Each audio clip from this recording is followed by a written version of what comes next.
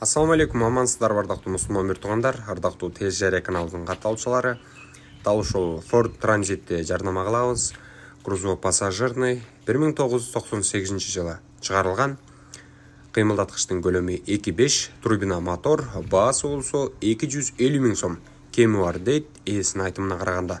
Грузово пассажир абалы аябагандай жакшы.